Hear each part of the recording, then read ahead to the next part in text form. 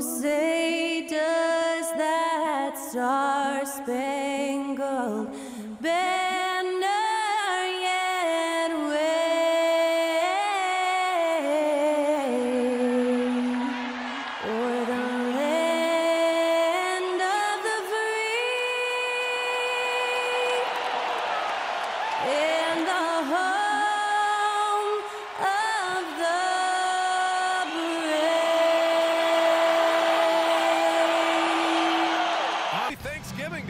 Alors, amis de la poésie, bonjour. Eh bien oui, en attendant collège football, on va continuer avec nos Wizards. Euh, Et là, en fait, on affronte des Spurs sans Wembayana qui est blessé. Donc, euh, donc euh, un adversaire plus facile à prendre. Basketball right there. Finding a way to get a high percentage shot on offense. And we're approaching about three and a half minutes played in this first quarter. Poole. Oh, and that one, no question, powered it down. Collins with a screen on Brogdon.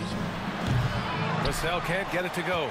More than a few bad breaks for him this quarter. He's struggling, and the team is following suit on the scoreboard.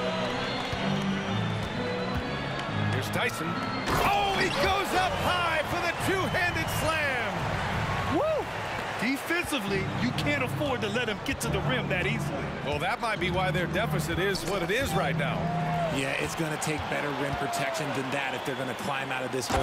And he goes strong with the one-handed. Et ce match commence par un festival de dunk. Of five tonight. A moment to hear from Allie LaForce. Well, Devin Vassell's game is more varied than he They hold a real solid lead right now. Love their approach tonight. Well, now we have some time to check in with Allie LaForce. Allie, Thanks. I'm here with Coach Popovich. And Pop, I know you're not happy with the first half. They've taken the fight to you thus far. How do you take it back? Yeah, they've been the, the aggressive team. I think we played really soft so far. Really pathetic defensive performance. Coach, hopefully more toughness from your team in the second half. Thanks. Hi, everybody. We've got your favorite segment on tap as we check out how the Eastern Conference is shaping up. You know, right now for the Wizards, they've been one of the bigger disappointments so far in the early goings.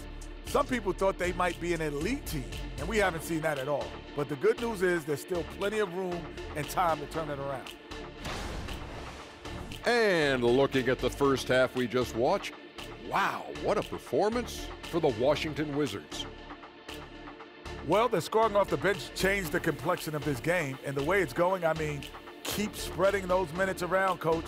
It's working for you. When I was playing, I agree with share of the wealth, as long as you didn't take me out.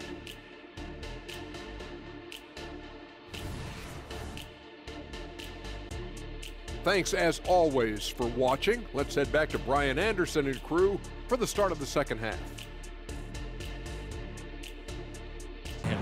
we've got Jordan Poole, and it's Coulibaly in at small forward. That's the five on the floor for the Wizards. And as it goes out of bounds, San Antonio will keep possession.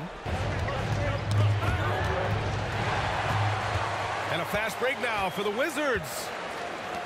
Pass to Tyson. Over Johnson. Tyson with the bucket. And now it's a nine-point Wizard lead. Six.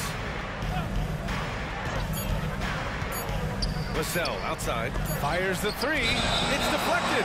Well, there's the shot clock violation. So they'll turn it over. And now it's time to take another view of that huge swat. Yeah, obviously he had the shot well anticipated, able to shut it. Got a piece of it. Here's Coulibaly. And count the basket.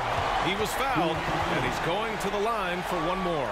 This one, even early on in this game, they appeared happy to be playing at home. And it makes a huge difference. Once they started to get into a groove, you never really felt like they wouldn't come out on top. All right, now let's check in with Allie LaForce. Allie, what do you have? Malcolm, there's no question you won this game defensively. What were the aspects that enabled you to contain them so well? Man, just being locked in, man, every possession. We didn't take any possessions off. Um, everybody guarded their lane, and, and we're there on the help side. You have to be mentally exhausted. Thanks, Malcolm.